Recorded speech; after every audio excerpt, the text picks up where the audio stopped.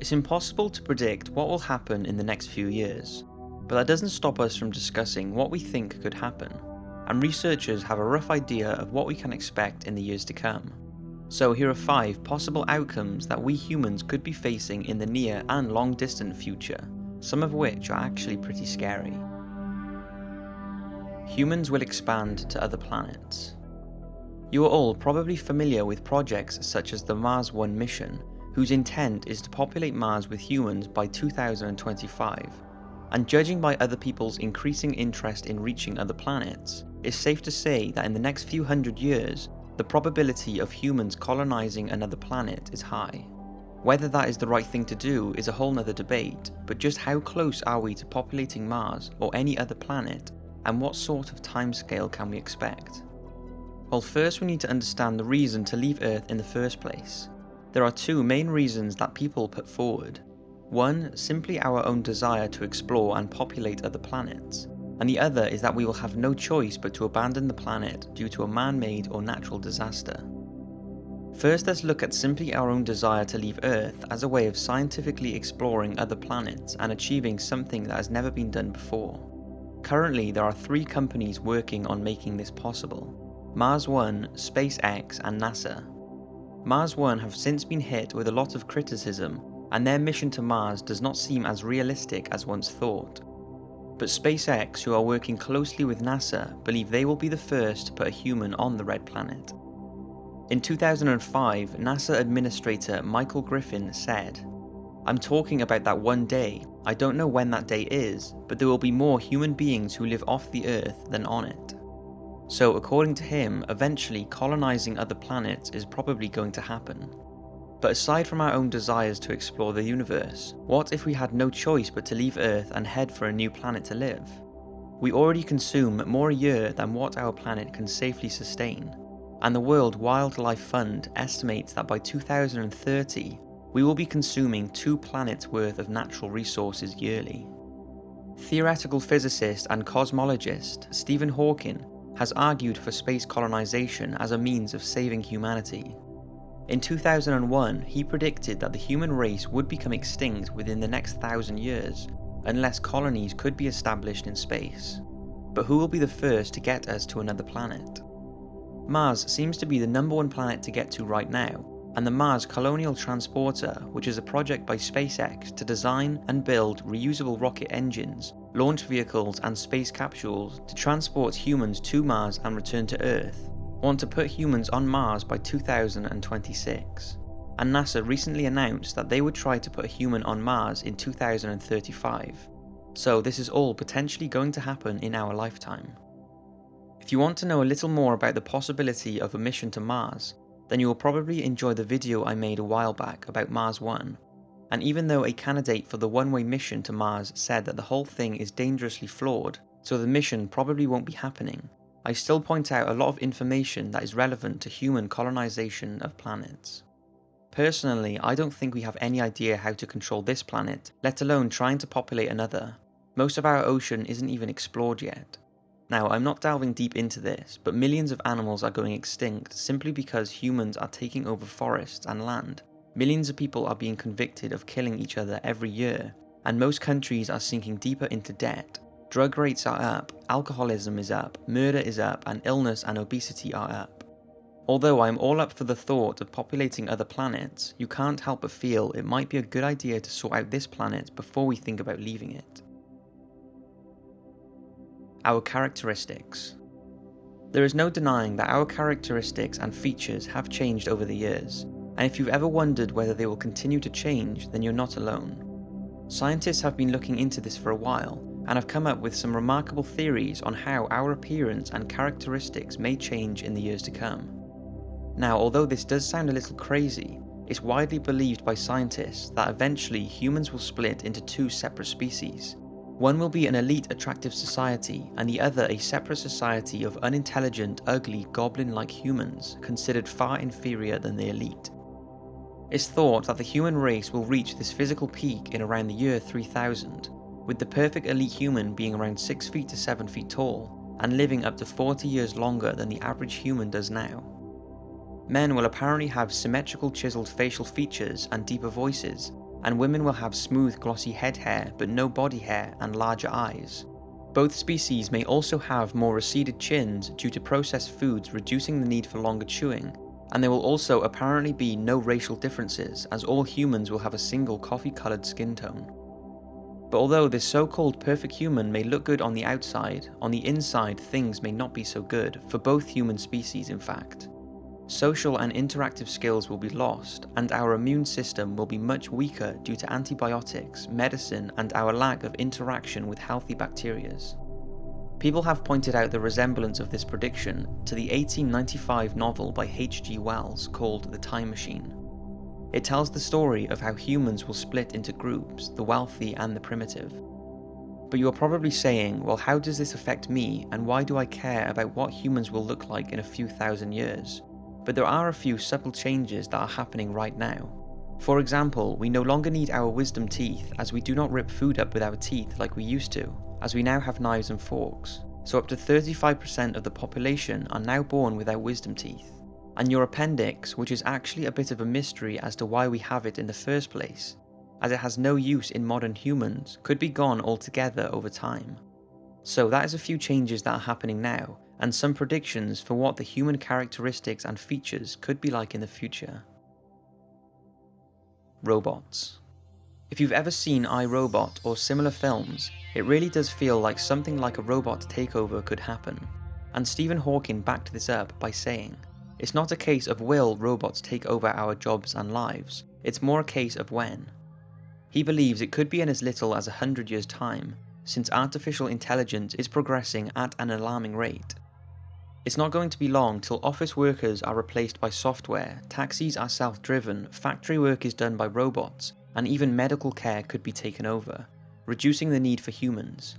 Why would you want a human to perform your surgery if an attentive robot could perform it at a 100% success rate at a fraction of the cost? Why would an employer want a human who is slower, more expensive, and limited to work time when they could have a faster robot that could work around the clock? Unlike some of the future predictions for us, this is already happening. Many factories use some robots instead of humans, surgery is much more advanced due to robotics, and cars are being developed that can drive themselves. Professor Hawking has gone even further in his prediction, saying that one day robots could be the cause of the end of the human race. He fears if we do not ensure computers are aligned to human goals, they could evolve faster and stronger than humans, becoming smarter and more intelligent than their human developers, with the potential to no longer need human intervention and be able to redesign themselves at an ever increasing rate, leaving humans unable to compete and ultimately replaced by machines. Just imagine that a robot is created that then creates an even more intelligent robot, that then creates an even more intelligent robot, and so on. Sounds pretty crazy, but don't worry. At the moment, artificial intelligence is some way off creating a robot that will be intelligent enough to cast away humans and take over the world. So, although it's a possibility for the future, it's a long way off.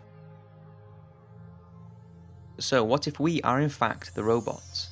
Transhumanism is a movement of improving the human condition through the use of technology, and one of the core beliefs is that it will create eternal life through genetic engineering, nanotech, cloning, and other ever emerging technologies.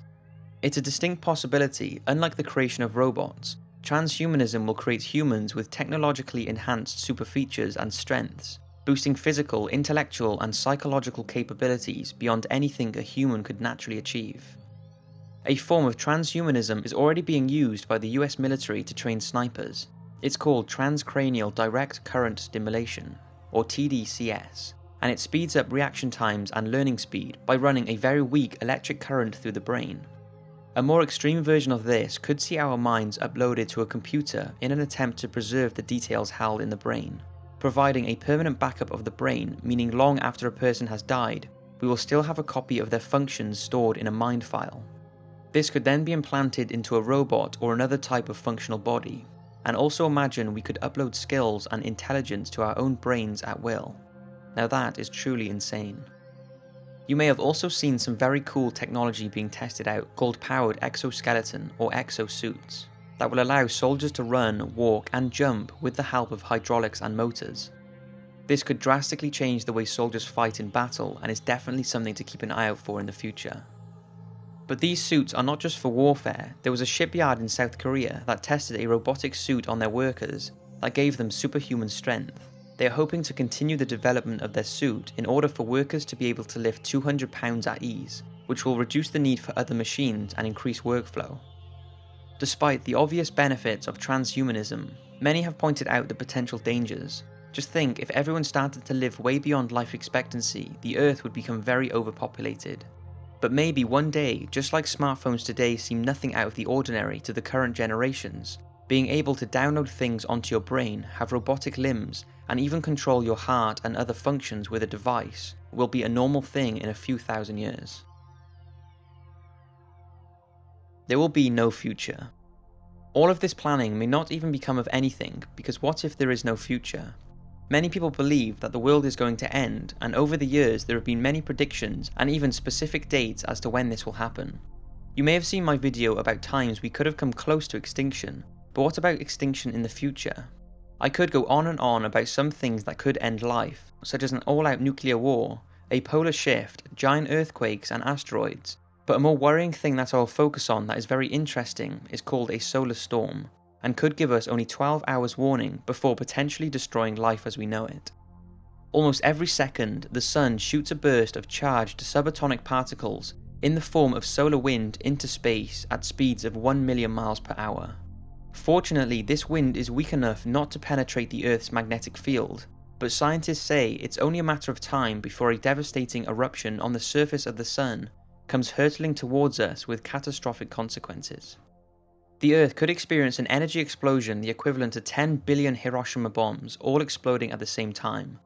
It would destroy communication systems and vital services such as sanitation, medicine, power, and transport networks and the world would be plunged into darkness.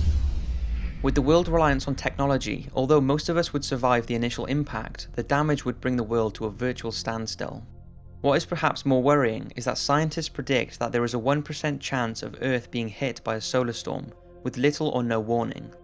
But since this is being continually monitored, we would know before it was going to happen, so we could act quickly to make sure the impact would not cause nuclear weapons and power plants to detonate which amongst the chaos of the storm would almost certainly cause absolute devastation. All this really isn't far fetched either. Earth was hit by a solar storm in 1859 that took just over 17 hours to get here. And researchers have shown that if we had the same storm now that we did in 1859, then it would have serious consequences on us, since unlike back in the 1800s, we are very dependent on technology for almost everything we do. So, to name a few effects a geomagnetic storm could have on Earth, is that all electronic communications would be down, life support machines would shut off, planes would fall from the sky, most cars apart from old crank cars wouldn't run, cargo ships would stop, credit cards would freeze, freezers and fridges would stop, along with computers, radios, televisions, and telephones. And since electronic water pumps pump water into most of our homes, we would have no running water, so would have to resort to other forms of water collection and as winter sets in, many would be unable to cope with the freezing conditions. But although all of this sounds scary, the chances of it happening are only 1%, but still, maybe those doomsday preppers are not as crazy as some people make out. So, that's 5 future predictions for us humans. Personally, I think instead of populating Mars, building robots to increase workflow, having robotic limbs and organs and such, although all those things are incredible, how about we focus on the millions of humans who are still suffering all around us? How about we fix the more important things on our planet? Start looking after Earth's animals, solve world hunger, poverty, crime, and illness before we start working on other things. I still find it crazy how, on one side of the world, people are dying from obesity, and then there are people on the other side dying from starvation. But anyway, don't let these predictions worry or stop you from enjoying life. I hope you've enjoyed this video, have an awesome day, and see you next week for another one.